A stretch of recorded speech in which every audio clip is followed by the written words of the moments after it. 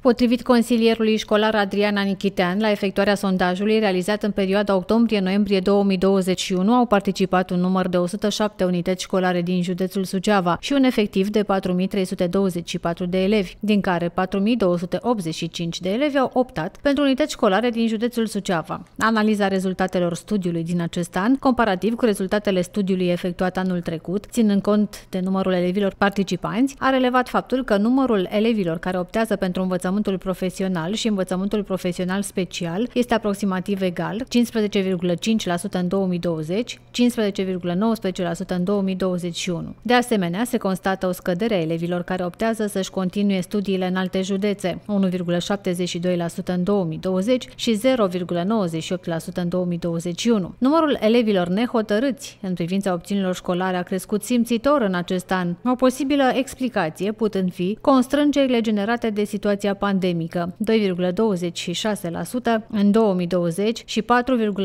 în 2021. De menționat că rata de tranzit din învățământul gimnazial în cel liceal, conform opțiunilor exprimate anul acesta, a scăzut. 2,26% dintre elevii respondenți au precizat că nu își vor continua studiile, față de 1,67% din totalul respondenților de anul trecut. Numărul celor care nu doresc să-și continue studiile a rămas relativ același, scăzând numărul celor care care au optat pentru unități școlare din alte județe, a arătat profesor Anichitean de la Centrul Județean de Asistență Psihopedagogică Suceava. Rezultatele sondajelor aplicate elevilor de clasa 8 sunt folosite ca puncte de reper pentru stabilirea cifrei de școlarizare pentru anul școlar următor. Colegiile naționale Petru Rareș, Mihai Minescu și Ștefan cel Mare, dar și Colegiul Economic Dimitrie Cantemir, toate din municipiul Suceava, sunt preferatele elevilor de clasa 8 din județ.